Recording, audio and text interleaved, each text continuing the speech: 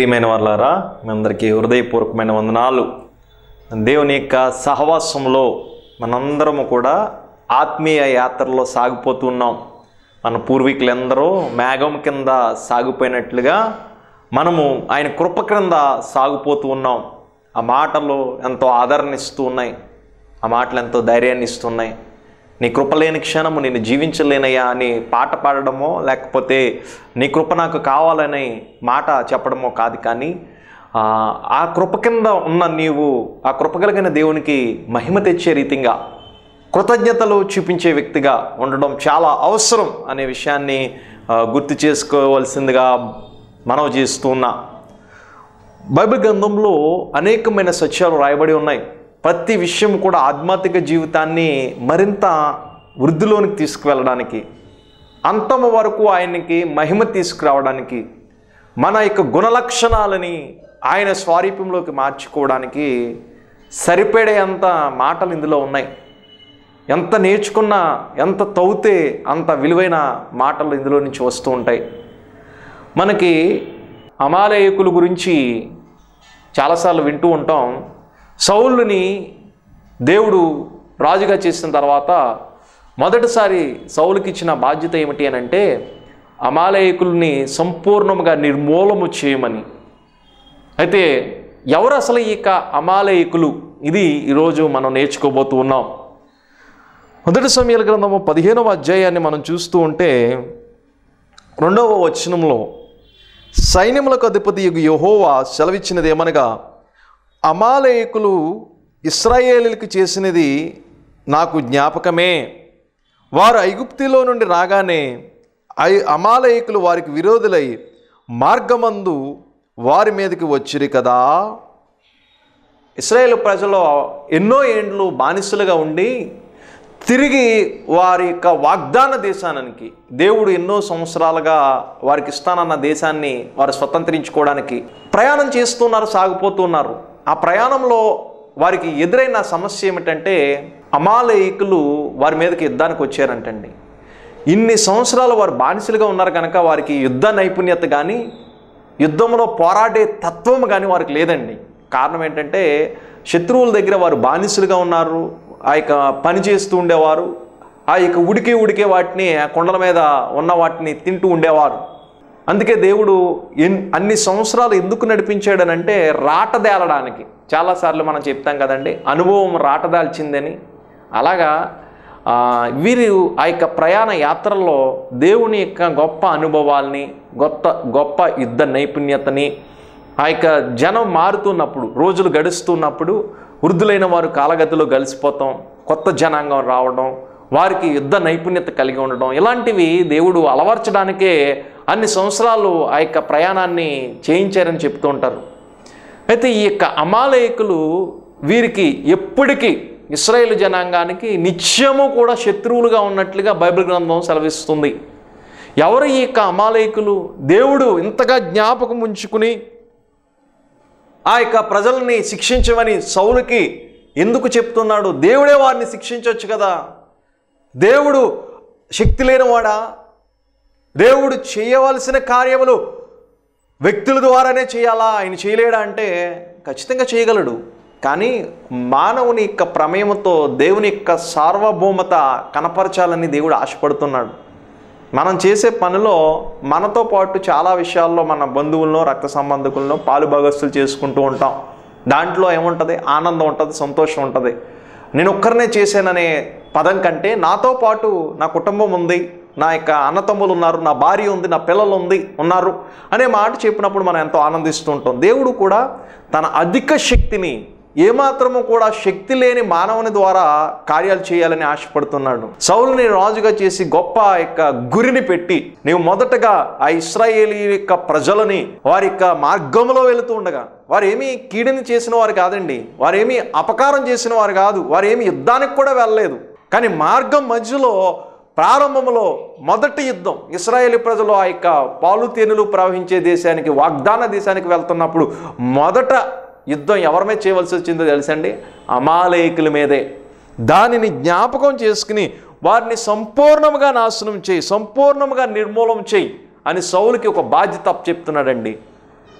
దీని నుంచి మనం తెలుసుకోవాల్సింది ఏంటంటే దేవుడు మనల్ని రక్షించుకున్న తర్వాత మనకి కూడా కొన్ని బాధ్యతలు అప్పు చెప్తూ ఉంటాడు. దే ఏమిటి ఆ బాధ్యతలు అంటే మనం కూడా పోరాడవలసినవి కొన్ని ఉన్నాయి. అమాలేయకులు శరీరానికి సూచనగా ఉన్నారు. ఈ యొక్క శరీరము అంతము వరకు కూడా ముగింపు వరకు కూడా ఈ యొక్క ఆత్మకు శరీరానికి ఎప్పుడు పోరాటమేనట్టండి. పౌలు భక్తుడి మాట వ్రాస్తూ నేను నా శరీరాన్ని లోపరుచుకుంటూ ఉన్నాను. నా శరీరాన్ని నేను జయించలేకపోతున్నాను.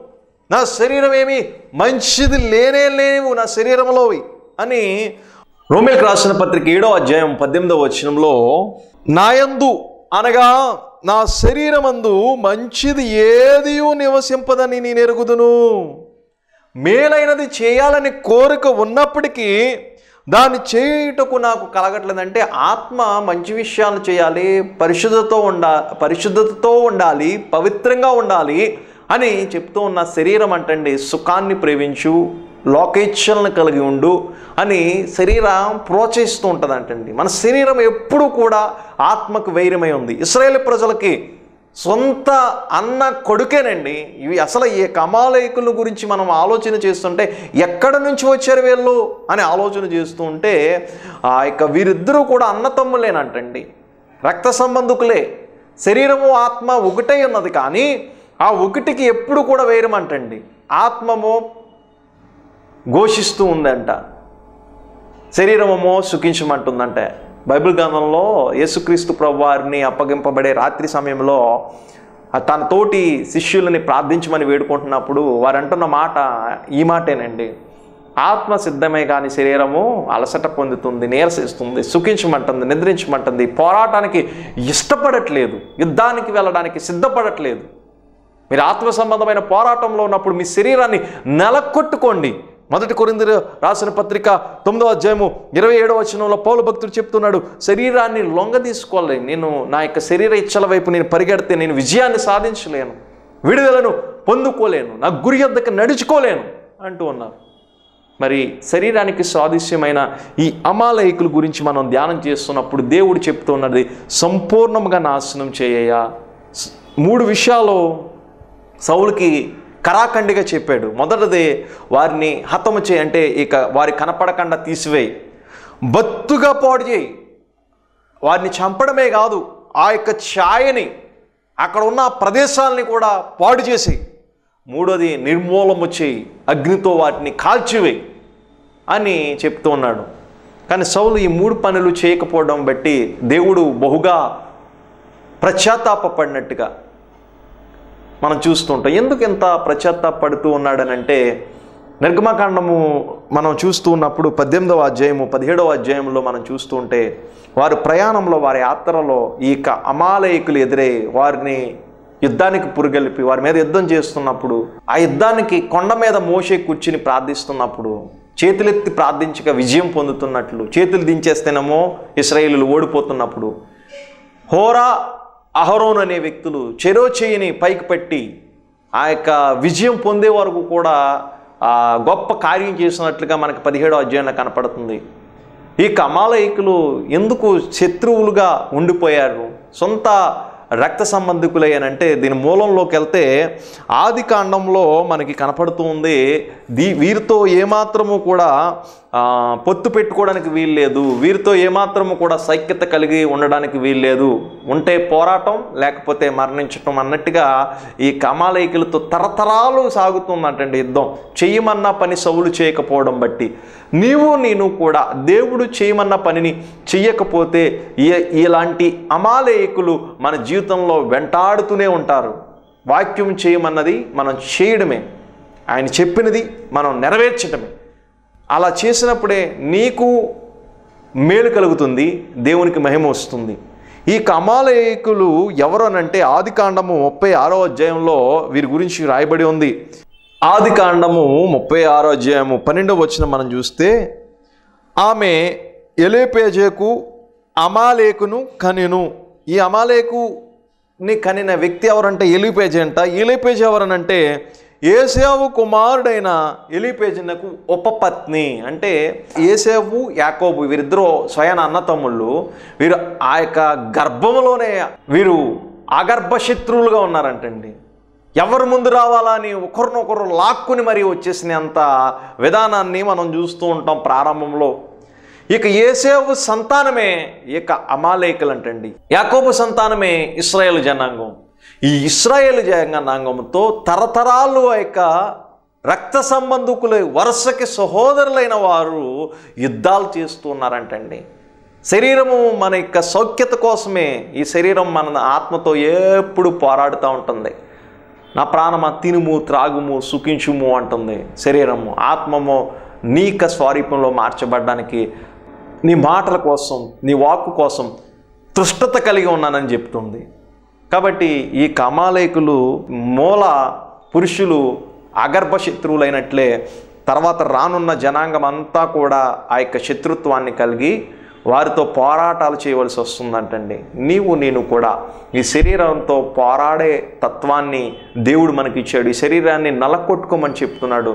యేసుక్రీస్తు ప్రభువారు తన శరీరాన్ని అంటండి వదకు తేబడిన గొర్రె ఎలాగైతే మౌని ఉన్నదో ఆ మౌనిగా ఉండి ప్రభు శరీరం అంతా నలకొట్టుకున్నాడంటండి దేనికోసమో తెలుసా? మన శరీరం ఎప్పుడు కూడా పాపాన్ని ప్రేరేపిస్తుంది. శరీర ఆశలు శరీర కోరికలు మనల్ని నాశనానికి తీసుకువెళ్తూ ఉంటాయి శరీర కోరికలకు మూలపిత్రుడు అపవాదైన సాతాను అమాలయకులు కూడా శరీరానుసారులు. ఏసావు దేని బట్టి భ్రష్టత్వాన్ని సంపాదించుకున్నాడండి అంటే అమాలయకుల యొక్క మూలపిత్రుడైన ఏసావు ఆకలితో ఉన్నాడంట అలమటిస్తున్నాడంట శరీరం బ్రతికి ఉండాలని తన జ్యేష్ఠత్వాన్ని అమ్మేసుకున్నాడంటండి అంటే తన బ్రతికుండడం కోసం ఎంత విలువైన దాన్నైనా సరే విడిచిపెట్టేయడానికి సిద్ధంగా ఉన్న వ్యక్తులు. ఈ కమాలయకులు బలాఢ్యులు శక్తిమంతులు పైకి మాత్రమే. కానీ ఏదైనా ఒక విపత్తు వస్తే మాత్రం వెంటనే బలహీన పడిపోతారంటే. మన శరీరం చూడండి అన్నీ బాగుంటే చాలా గొప్ప ఉన్నతమైన పనులు నిలబడతా ఉంటుంది. ఉత్తమమైన పనులు చేస్తున్నట్టు ఫీల్ అవుతూ ఉంటుంది. ఏదైనా రోగం వస్తే ఏదైనా అనారోగ్యం వస్తే ఏదైనా కానిది జరిగితే ఆ యొక్క నొప్పులతోనూ బాధలతోనూ ఆ యొక్క శరీరము వేదన చెందుతూ వేదన చెందుతూ ఇంకా నీరసించిపోతూ ఉంటాం. ఈ కామాలయకులు కూడా అలాగే ఉన్నారండి. ఏసావు చాలా గొప్ప వేటగాడంటండి. క్రూర మృగాలని వేటాడేవాడంట అడవి జంతువుల్ని వేటాడేవాడంటండి. వాటిని తీసుకొచ్చి సమృద్ధిగా తినేవాడంటండి. ఒకసారి వేటాడాడు కానీ ఏమీ దొరకలేదంట. ఇంటికి వచ్చేసరికి తన సహోదరుడు ఆ యొక్క కూర వండుకుంటున్నాడంట. నాకు అది కొంచెం పెట్టు నేను అది తిని నేను శక్తిని పొందుతానంటే ఆ సహోదరుడు ఎంత గొప్పవాడో చూడండి. నా సహోదరుడే కదా నేను కొంచెం ఇస్తే ఏమైంది? అలసిపోయి వచ్చాడు కదా ఆకలితో ఉన్నాడు కదా అని అనుకోవట్లేదు కానీ అక్కడున్న అవసరతని తన యొక్క ఉపయోగం తన యొక్క జీవితంలో ఒక మేలుకరంగా మార్చుకోవాలనుకుంటున్నాడు. నేటి దినాల్లో మనము కూడా మనకున్న అవసరతల్ని మనకు నచ్చిన విధంగా మార్చేసుకుంటూ ఉంటాం. అమాలయకులు శరీరానుసారికి గుర్తుగా ఉన్నట్టు ఏసేపు శరీరము కోసము ఆ యొక్క శక్తి కోసము తిని ఇంకా బ్రతకాలనే ఆశ కోసం నేను ఇంక ఇక్కడతో పోతే ఏమైపోతుంది? నా యొక్క శరీరము మట్టిలో కలిసిపోతుంది. అదే కనీసం ఇక ఒక పూట ఆహారం నేను తింటే సమృద్ధితో ఉంటాను శక్తి కలిగిన అవుతాను తర్వాత ఏదో ఒకటి చేసుకోవచ్చు అనే ఉద్దేశంతో జ్యేష్ఠత్వాన్ని తమ్ముడికి అమ్మివేశాడంటండి. అంటే తనకున్న ఆ విలువైన ప్రాధాన్యతతో కూడిన ఆ యొక్క స్వాస్యాన్ని విడిచిపెట్టేశాడంటండి. యేసుక్రీస్తు ప్రభు వారిని నమ్మిన మనందరము కూడా జ్యేష్ఠత్వపు హక్కు అని దేవుని యొక్క వాక్యం చెప్తుంది. మన జ్యేష్ఠ పుత్రులము ప్రథమ పుత్రులము మనకు రెండొంతుల దీవెన అని దేవుని వాక్యం సెలవిస్తుంది. ఇస్రాయేల్ ప్రజలని కూడా దేవుడు జ్యేష్ఠ పుత్రులు అన్నాడు. ఎందుకయ్యానంటే వారు ఈ భూలోకంలో ఆనందంగా ఉండగలుగుతారు భూలోకంలో ఆశీర్వదింపబడగలుగుతారు ఆయన ఉండే స్థలంలో నిత్యరాజ్యంలో కూడా జీవించగలుగుతారు. ఈ రెండు ఉన్న ఉన్నవే రెండింతల ఆశీర్వాదం. పూర్వపు దినాల్లో జ్యేష్ఠుడికి రెండింతల దీవెనలు ఉండేవంటండి. అంటే ఒక తండ్రికి ఒక కొంత ఆస్తి ఉంటే రెండు భాగాలు పెద్ద కుమారుడికి ఇస్తే ఒక భాగం చిన్న కుమారుడికి ఇచ్చేవాడంటండి అలాంటి ఆశీర్వాదాలు ఉండే. ప్రస్తుత దినాల్లో అలా ఇస్తే అంతకన్నా పెద్ద గొడవలు ఎక్కడ ఉండవు. కాబట్టి అప్పుడు దినాల్లో అలాంటి నియమాలు ఉండేవంటండి. అలాంటి వాటిని విడిచిపెట్టేయడమే కాకుండా దేవుని దగ్గరికి వెళ్ళి తండ్రి తర్వాత ప్రథమ కుమారుడే ఆ యొక్క అర్పణలు చెల్లించడానికి యాజకత్వపు ధర్మాన్ని నిర్వర్తించడానికి అర్హత ఉండేదంటండి. ఇవన్నీ విడిచిపెట్టేశాడు. శరీరము ఎప్పుడు కూడా దేవునికి దూరంగా ఉండడానికి దేవుని యొక్క ఆరాధనకి దేవుని యొక్క సహవాసానికి దేవుడిచ్చే దీవెనలకు దూరంగా ఉండడానికి ప్రయత్నం చేస్తుంది. అందుకే పౌలాంటి భక్తుడు చెప్తున్నాడు నా శరీరాన్ని నేను నలకొట్టుకోకపోతే నా ఆత్మ ఎప్పటికీ కూడా వృద్ధి చెందదు. చాలా సందర్భాలు మనం ఉపవాసం ఉండి ప్రార్థన చేస్తూ ఉంటాం. అంటే మనం అలా ఆకలితో అలమటించడం తినటం మానేయడం దేవుడు ఆ దానిని బట్టి మనకి సహాయం అందిస్తాడా? దానిని బట్టి ఆయన ఆనందపడతాడంటే కానే కాదు మన శరీరాన్ని ఎందుకు మనం ఉపవాసాన్ని పెట్టుకుని నలగొట్టుకుంటామనంటే మన శరీర ఇచ్ఛలు మనం మీద ఏలుబాటు చేయకుండా మన యొక్క ఆత్మీయ జీవితానికి నష్టాన్ని కలిగించకూడదని అంటే మనము మన శరీరాన్ని మన స్వాధీనంలో ఉంచుకోవాలి. అందుబట్టే ఉపవాసాలుండి ప్రార్థన చేస్తాం. ఆ యొక్క శరీరాన్ని లోపరుచుకుంటాం ఆత్మని ఉజ్జీవపరుచుకుంటాం ఉపవాసం ఉన్నప్పుడు చాలామంది ముఖం వికారంగా పెట్టేసి దిగులుగా పెట్టేసి నేను ఉపవాసం ఉన్నానని భావనలో ఉంటారు. బైబిల్ గ్రంథం సెలవిస్తుంది మీరు ఉపవాసం ఉన్నప్పుడు నీ పొరుగు వారికి తెలియకుండా నువ్వు గదిలో ఉండి కూర్చుని ప్రార్థించు అంటే వికారమైన మొఖాలు పెట్టేస్తామండి. నలభై దినాల ఉపవాస ప్రార్థనలు అండి పది దినాల ప్ర- ఉపవాస ప్రార్థనలు అండి అని పెట్టి ఎన్నో ఆ యొక్క ఆలోచనలతో మనల్ని మనం కనపరుచుకుంటాం. కానీ ఉపవాసం అనేది మనల్ని కనపరుచుకోవడం కాదు కానీ మనలో ఉన్న ఆత్మ దేవుని యొక్క స్వారూప్యంలోకి మార్చబడడానికి ఆయన యొక్క దివ్యమైన దర్శనాన్ని మనం చూడడానికి అది మనం గుర్తించినట్లయితే మన శరీరాన్ని మనం లోపరుచుకుంటాం. ఈ అమాలయకులు పోరాటంలో ముందున్నవారు తర్వాత ఉన్నారు వెనకాల ఉన్నారు. సంధికి సైక్యతే లేదంటండి. ఒకటే మార్గం అంట. ఏమిటి ఆ మార్గం అంటే చనిపోవడం లేదా పోరాడడం. ఆత్మీయ జీవితంలో రక్షణ పొందిన తర్వాత పోరాడితే అపవాది సంబంధమైన శరీరముతోనూ లోకముతోనూ పోరాడాలి లేదా మరణించాలి. తిరిగి మరణిస్తున్నావు అని అంటే అర్థం మరలా పాపంలోకి వెళ్తున్నావు అని. మరణించిన నిన్ను లేవనెత్తాడు దేవుడు రక్షించాడు దేవుడు నిన్ను. ఆ రక్షించిన తర్వాత మరలా నీవు మరణానికి వెళ్ళడానికి నీ శరీరాన్ని ఎందుకు అప్పగించుకుంటున్నావు? నీ శరీర ఇచ్చలను బట్టి నీ యొక్క ఆత్మను ఎందుకు ఆర్పివేసుకుంటున్నావు? నీ ఆత్మను ఎందుకు దుఃఖపరుస్తూ ఉన్నావు? ప్రీ తల్లి ప్రీ తండ్రి అమాలయకులు నిత్యము మనతో ఉండేవాడే. శరీరము నిత్యము మన మీద పోరాటం చేస్తూనే ఉంటుంది. ఎవరు పోరాటం చేశారో తెలుసండి? బైబిల్ గ్రంథంలో మనం చూస్తూ ఉంటే అప్పుడు ఏసేవు దగ్గర పోరాటం ప్రారంభించిన ఈ కమాలేకులు ఇస్రాయేలు ప్రజలు కానా దేశానికి వెళ్తున్నప్పుడు పోరాటం చేశారు. అక్కడతో ఆగిపోలేదండి. వారు ఆ యొక్క కానా దేశానికి వెళ్ళిన తర్వాత న్యాయాధిపతుల కాలంలో మనం న్యాయాధిపతుల గ్రంథాన్ని చూస్తూ ఉంటే పదమూడవ అధ్యాయం పదమూడవ వచ్చంలో యాహూదు అనే వ్యక్తి పోరాటం చేస్తాడు. అక్కడతో ఆగిపోయిందంటే గిద్యోని పోరాటం చేస్తాడు. అక్కడతో ఆగిపోయిందంటే ఆ యొక్క సౌలు యుద్ధంలో చేయవలసి వచ్చి పోరాడడం పోరాటం చేయవలసి వస్తుంది. కాబట్టి పోరాటం ఆగిపోదు. ఎప్పుడు వరకు ఇది? అంతము వరకు ఆయన రాజ్యం వచ్చే వరకు ఆయన స్వాస్యము పొందుకునే వరకు నిరంతరము ఉండేదండి. అలాంటి ఉన్నతమైన పోరాటంలో నీవు ఉన్నావు గుర్తుపెట్టుకో. అందుకని ఎపిసీలకు రాసిన పత్రికలో గ్రంథకర్త చెప్తూ ఉన్నాడు మీరు పోరాటంలో ఉన్నారయ్యా కానీ మనం ఏం చేస్తున్నామండి? భక్తి పేరు చెప్పుకుని వాక్యాన్ని విశ్వసిస్తూ దేవునిలో సాగుతూ ఏ పోరాటాలు ఉండవండి? సౌఖ్యంగా ఉండాలి సుఖంగా ఉండాలి క్షేమకరంగా ఉండాలి. అదే ఈ నేటి విశ్వాసలోకం కోరుతుంది. కానీ దేవుడు ఆ రీతిగా మనకి దేవుని యొక్క మాటల్ని అందిస్తున్నాడా? కానే కాదు. మీరు పోరాటంలో ఉన్నవారు మీరు పోరాడాలి. ఆత్మ సంబంధమైన యుద్ధంలో ఉన్నవారు చీకటి సంబంధికుల మీద పోరాడాలి దురాత్మ సమూహాల మీద పోరాడాలి. అంటే పోరాటానికి అంటండి వెన్ను చూపి పారిపోయేవారుగా ఉంటున్నామంటండి. మంచి మంచి కార్యక్రమాలు చేసుకోవడానికి ఇష్టపడతాం. మందిరానికి వచ్చేసరికి సహవాసానికి వచ్చేసరికి ఎన్ని వంకలు వెతుకుతామండి? ఎన్ని ఆలోచనలు కలిగి ఉంటామండి? ప్రార్థన చేసుకోవాలంటే కుటుంబ ప్రార్థనలు గడపాలని అంటే అసలు సమయం దొరకదండి. మా ఉద్యోగం మమ్మల్ని ఆ యొక్క పనుల్లోనే ఫుల్గా అలసిపోయి వస్తున్నామండి. దేవుడు మనకి ఇచ్చిన గొప్ప ఆ యొక్క సహవాసం బట్టి మన శరీరాన్ని ఎలా లోపరుచుకుంటామండి వాక్యము చేత కాదా? సహవాసంలో ఉన్నప్పుడు కాదా? ఆయన సహవాసంలో ఉండకుండా నీ యొక్క శరీరాన్ని నీకు నీవు నలగొట్టుకోగలవా? నీకు నీవు లోపరుచుకోగలవా? భక్తి కంటే కూడా శక్తి కంటే కూడా ఈ రోజుల్లో భక్తిని ఏ విధంగా చేస్తున్నారంటే దేవుని యొక్క శక్తి కంటే కూడా సుఖానుభవాలను కలిగి ఇలాంటి శరీరానుసారమైన భక్తి చేస్తూ ఉన్నాం. ఆ భక్తి దేవునికి హేయమైనది. అమాలయకులు ఈ యొక్క శరీరానుసారులు అలసిపోయి అప్పటికే ఎన్నో ఏండ్లు దాసత్వంలో ఉండి పోరాటానికి సిద్ధం లేకుండా ఉన్న వ్యక్తులకి సహోదరులుగా ఉండవలసిన వ్యక్తులు దారి చూపించవలసిన వ్యక్తులు అండగా ఉండవలసిన వ్యక్తులు సహాయకులుగా ఉండవలసిన వ్యక్తులు పోరాటం చేస్తున్నారంటండి. నీ శరీరం నీ మీద అలాగే పోరాటం చేస్తూ ఉంటుంది. ఎప్పుడు వరకుయా నిత్యము పోరాటమే. ఇంకా సౌలుతో పులి స్టాప్ పెట్టించాలనుకున్నాడు దేవుడు. నీవు ఆ యొక్క అమాలీకుల్ని బొత్తుగా నిర్మూలం చేయి నాశనం చేయి. ఏమీ కూడా ఉండడానికి వీలు లేనే లేదు. నీ ఆత్మీయ జీవితం క్షామకరంగా ఉండాలంటే నీ ఆత్మీయ జీవితంలో వర్ధిల్లుతూ ఉండాలంటే నీ ఆత్మీయ జీవితంలో క్రీస్తు స్వారీప్యంలోనికి క్రీస్తు రూపాంతర అనుభవాన్ని పొందాలి అని అంటే ఈ యొక్క శరీరానుసారమైన కార్యాలని పూర్తిగా లయపరచాలి. ఏమాత్రము కూడా ఆ యొక్క కార్యాలని నీలో వన్ పర్సెంట్ పెట్టుకుని నీవు ముందుకు వెళ్తావంటే అది ఏ ఉపయోగం ఉండదు. ఎందుకంటే సౌలుకి అదే పెద్ద శాపంగా మారిపోయింది.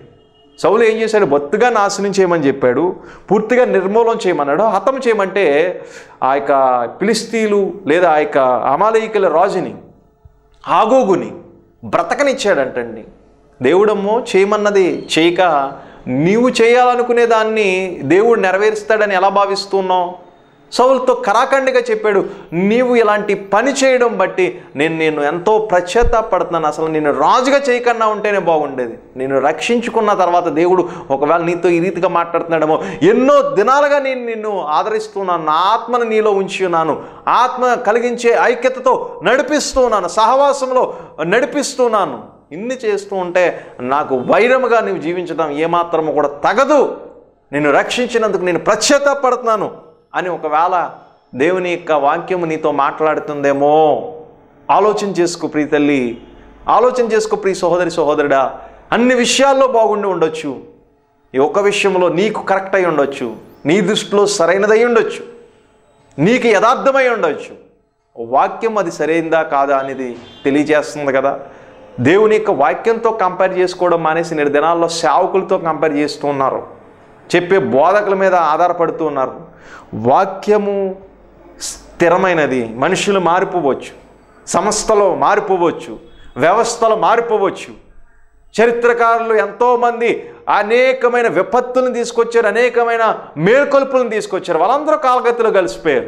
కానీ వాక్యం మాత్రం నిరార్థకం కానే కాలేదు ఈ విషయాన్ని మనం గుర్తెరిగితే మన ఆత్మీయ జీవితాన్ని ఎప్పుడు కూడా ఆత్మ విషయాలలో వాక్యంతో పోల్చుకుంటాం. శరీరానుసారులతో పోల్చుకొనే పోల్చుకోం. ఇక్కడ శరీరానుసారుడైన అమాలేకులు నిత్యము పోరాటం చేస్తున్నారు.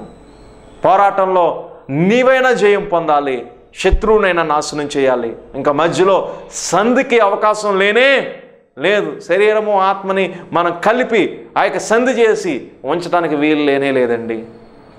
ఇక శరీరాన్ని మనం సంపూర్ణముగా సజీవ యాగముగా దేవునికి సమర్పించుకుని లోకము దాని ఆశలని దాని ఇచ్చలని పూర్తిగా నిర్మూలం చేసుకోకపోతే ఆయన స్వారూప్యంలోనికి మనం మార్చబడలేం. ఆయన మహిమలోనికి మనం కొనుపోబడలేం. సౌలు అన్నీ చేసిన ఆ స్వల్పమైన వాటి విషయం బట్టి దేవుడిచ్చే ఉన్నతమైన ఆశీర్వాదాన్ని దూరం చేసుకున్నాడు. నీవు కూడా అలా చేస్తూ ఉన్నావేమో. అందుకే దేవుడు ఈ మాటల ద్వారా నిన్ను ఆదరించాలనుకుంటున్నాడు. ఏ యొక్క ఆగూగుని విడిచిపెట్టేశాడో? సౌలు అదే ఆగుగు తర్వాత మనం చూస్తూ ఉంటే ఎస్తేరు గ్రంథంలో మనకు కనపడుతూ ఉంటాడండి. ఎస్తేరు గ్రంథం మూడో అధ్యాయం ఒకటో వచనంలో మనం చూస్తూ ఉంటే ఆగుగీడైన అనగానే అనే మాట కనపడుతుంది. చరిత్రకారులు ఏమని చెప్తున్నారంటే ఆగుయనీయుడు అనగా అర్థం ఏంటంటే పూర్వము సౌలుతో యుద్ధం చేసినప్పుడు ఏ అమాలేక రాజు ఉన్నాడో ఆ అమాలేక రాజు సంతానమే యొక్క హామాను. ఈ హామాను ఇస్రాయేల్ ప్రజల్ని యూదుల్ని బహుగా హింస పెట్టి వారిని అందరినీ ఆ యొక్క చరిత్రలో లేకుండా నాశనం చేయాలనుకున్నాడు అనే విషయాన్ని చెప్తున్నా. ఎందుకయ్యా హామోను నీకు అంత కోపం అంటే మోర్దిక అనే వ్యక్తి అంటండి ఈయన వెళ్తున్నప్పుడు నమస్కారం పెట్టలేదంటండి. శరీరం ఎప్పుడు ఏం కోరుకుంటుందండి? గౌరవాన్ని ఘనతని హెచ్చింపుని ఏమండి? స్థాయిని స్థితిని వీటిని కోరుకుంటుంది. హామోనికి నమస్కారం పెట్టలేదని యు- మీద కక్ష పెట్టుకున్నాడంటండి. ఈ యొక్క హామోని ఎవరి సంతానం? ఈ కమాలయికుల సంతానమే అక్కడతో ఆగిపోలేదు సౌలుతో ఆగిపోలేదు. తర్వాత దావీదు కూడా యుద్ధం చేయవలసి వచ్చింది. పాపాత్ములైన అమాలయకుల్ని సంపూర్ణంగా నిర్మూలన చేయమని దావీదుతో కూడా చెప్తూ ఉన్నాడు. కనుక స్వల్పమైనది అల్పమైనది మన దేహాన్ని గనక నష్టపరుస్తుందని మనం తెలుసుకుంటే మనం గ్రహిస్తే వాటిని విడిచిపెట్టక తప్పదు. అది నీకు కష్టమైన నీ దృష్టికి అది విలువైందైనా.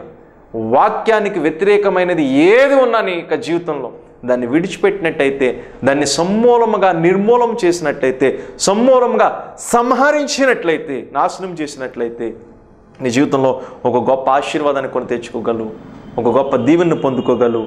అయ్యా హామాను నీ యొక్క పూర్వీకులు ఇలాగే ప్రవర్తించారు నీ పితరులు ఇలాగే ప్రవర్తించారు ఆ ఒక్కడగా ఉన్న నీవు కూడా ఇలాగ ప్రవర్తిస్తున్నావంటే ఆయన చెప్పే సమాధానం ఏమై ఉంటుందో తెలుసా అండి?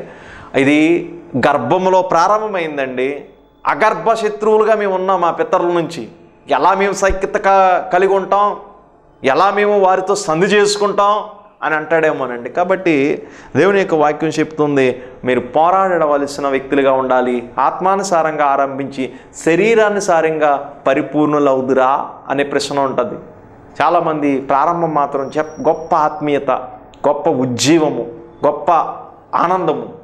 కానీ రాను రాను రాను రాను వారి ఆత్మీయ జీవితాలు శరీరానుసారులుగా మారిపోతున్నారు. శరీరానికి కావలసినవి శరీరానికి కూడబెట్టేవి శరీరానికి సంబంధించినవి వీటన్నిటినీ ఇంపార్టెంట్ ఇస్తూ ఉన్నారు. ఏమండి?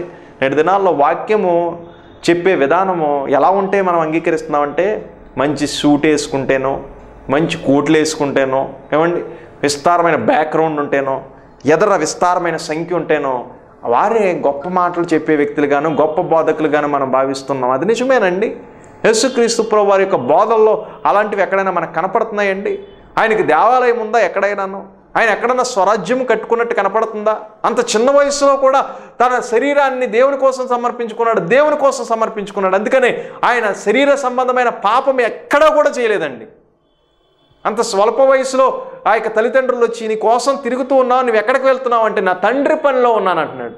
మరి ఆత్మానుసారంగా ప్రారంభించిన నీవు నేను ఎవరి పనిలో ఉంటున్నావు ఎవరు పనులు చేయడానికి మనము పాలుభాగస్తులవుతున్నాం శరీర సంబంధమైన వ్యక్తుల విషయంలో మనం ముందు ఉంటాం.